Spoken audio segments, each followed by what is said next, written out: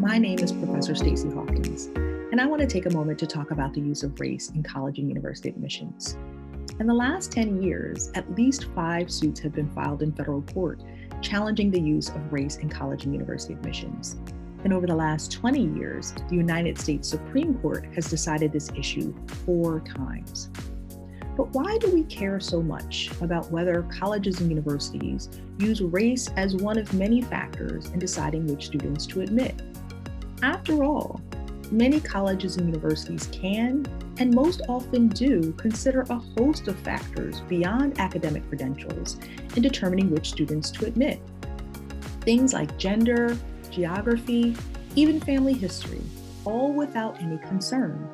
But when colleges and universities consider race as one of the factors, courts are required to scrutinize those decisions more closely. One of the reasons is because the schools most likely to consider race in admissions are also some of the nation's most selective colleges and universities. Schools like Harvard and Yale, both of which have been the subject of recent litigation. Admission to these schools is highly coveted. People care about who gets into these schools and how. But the reality is, these schools represent only a fraction of all colleges and universities and they enroll an even smaller share of all students. For instance, only 0.4% of all students attend one of the Ivy League schools like Harvard or Yale. So, the more important reason why we care so much about this issue is because of the problematic history of race in this country. We're all, of course, familiar with that history.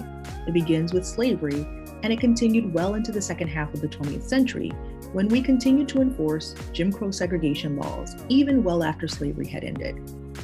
Because of this history of race, courts have determined that we have to pay particularly close attention when we formally use race in decision making processes. And although the Supreme Court has said that race is almost never a relevant criterion in decision making, the court has acknowledged that race is important for colleges and universities to be able to consider in deciding which students to admit because of the educational benefits that accrue when they have a diverse student body. What we now know is that classroom diversity enriches the student experience because of the different perspectives that students of different racial and ethnic backgrounds bring to classroom discussion. We also know that cross racial interactions uh, allow students to develop the cultural competence they need to succeed in a global workplace.